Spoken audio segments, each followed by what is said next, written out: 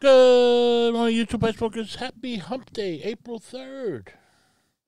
And wet New York, 44 degrees, damp, starting to grow web feet. It's been raining just about all week, and it's going to continue all week.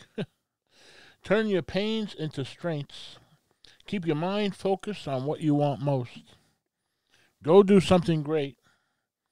I will never be a loser, never, because I will never stop trying to be better.